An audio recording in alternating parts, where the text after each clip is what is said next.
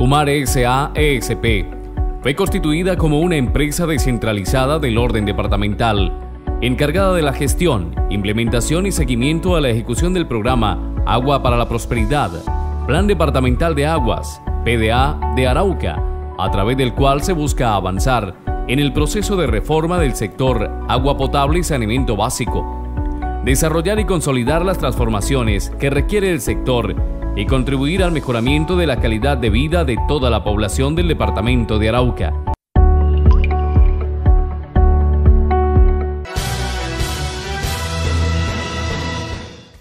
La Unidad Nacional de Riesgo y Desastre y la Administración Municipal y Departamental han superado 14 metros del boquete del dique en la vereda del Torno. Esperan que lleguen las maquinarias para poder finalizar. La Unidad Nacional de Gestión de Riesgo y Desastre, la Administración Municipal y Departamental iniciaron los trabajos en la vereda del Torno, donde se rompió el dique con el fin de tapar el boquete del terraplén que fue arrasado por el río Arauca. Desde ya aproximadamente hace cuatro, tres, cuatro días se empezaron ya los trabajos, lo primero que se hizo fue un acercamiento y una socialización con la comunidad, comentarles qué estaba, qué íbamos a hacer y el alcance. Mire, hay que ser claro, es el alcance. Esto es una obra de mitigación de emergencia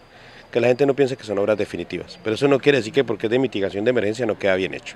Si ustedes pueden ver y la imagen de la comunidad, se avanzó ya con el acorazado de las dos crestas del boquete precisamente para que el río así baje la intensidad, no siga ese proceso erosivo y en lugar de, de, mantenerme quieto el boquete me lo estaba creciendo. Entonces ya llevamos 14 metros al día de ayer, se está haciendo contra el mismo trabajo de la comunidad, más los profesionales la maquinaria ya viene en camino. Los funcionarios de la Unidad Nacional de Gestión de Riesgo le hicieron un llamado a la guerrilla del ELN para que deje ingresar la maquinaria para los trabajos de mitigación del invierno. Tratando de entrar, eh, debido a los acontecimientos que se están presentando en la región y el evento de orden público, de una vez hacer un llamado, esa maquinaria viene para ayudarle a la gente, ayúdenme para que esa gente entre rápido, porque entre más tiempo se muere, pues el boquete se va a abrir más y el problema no es que quién es o de quiénes no, el problema es que la gente tiene el agua al cuello y yo puedo o la nación no puede o podemos todos entregando asistencia, mercaditos, asistencia, y eso no es atender una emergencia, se convierte en asistencialismo. Para atacar la raíz, que es lo que quiere hacer la unidad, es tapar ese boquete.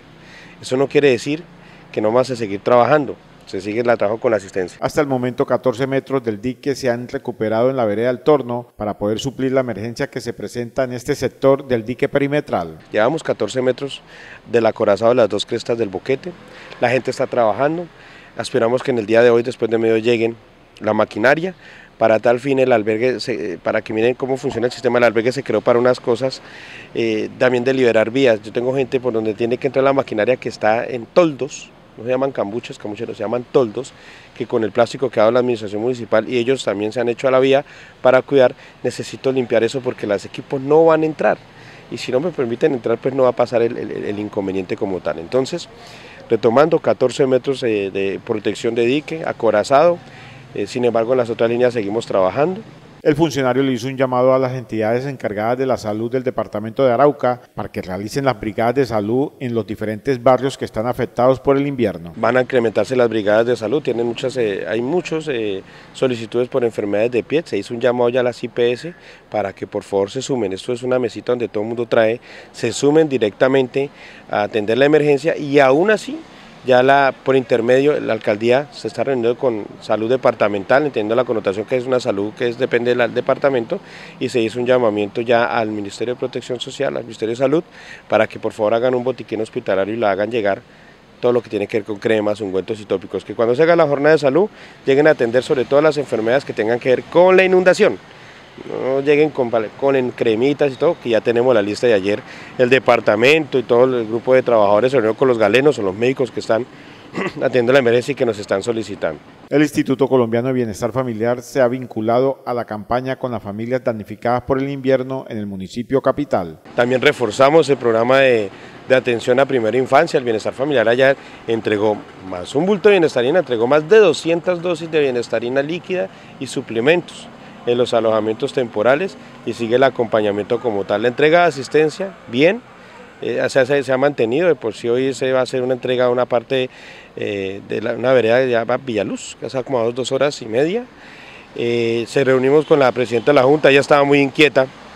y ante todo agradecerle, un canal, un medio local me llamó